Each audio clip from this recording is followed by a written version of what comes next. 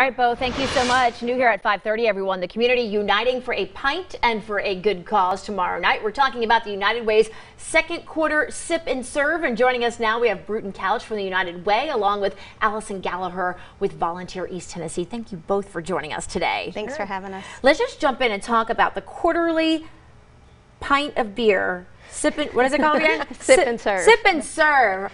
Explain how all of this works. It's a fabulous idea. Well, so really it's an opportunity once a quarter for us to get our community together and learn about the things going on in the community and also give back in a way. So we're having that fellowship of getting together and having a beer and also doing a service project that would benefit one of the partner agencies or one of the great nonprofits that are here in the Knoxville community. There is a financial benefit as well of not just enjoying the beer, but also some money from that yes, goes back as well, right? A dollar from each pint is donated from the evening. And wonderful. And where is that going to be this time around? We're going to be at the Trailhead Beer Market in South Knoxville starting at 5.30 tomorrow night. All right, sounds good. And outside of drinking beer, the service project that actually goes along at the same time, you guys are carrying or displaying some beautiful artwork here. Tell us what we'll be doing. Yeah, so we're going to be making superhero capes for uh, the Phyllis Wheatley Center's SKIP camp uh, that's happening at the Phyllis Wheatley Center, part of the YWCA program.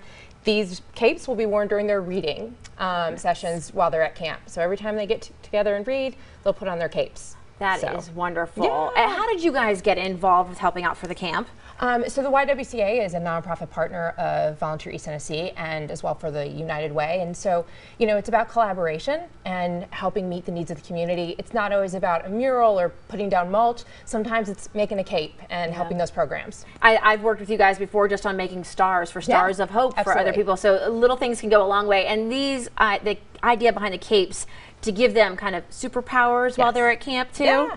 Absolutely love that. All right, so people watching this right now who say, this sounds like a win-win. I want to take part. What do they have to do? Um, all you have to do is show up tomorrow night at Trailhead Beer Market and join us. And um, if you want to give us your email, we'll be happy to let you know what we're going to do in another three months when we plan our next quarter sip and serve. That sounds absolutely wonderful. Ladies, I appreciate both of you coming in and sharing this incredible idea. And folks, I encourage you to go out. It's a win-win all the way around. Ladies, thank you. Thank Thanks, you. Kristen. Bo, back to you. All right, thank you, Kristen.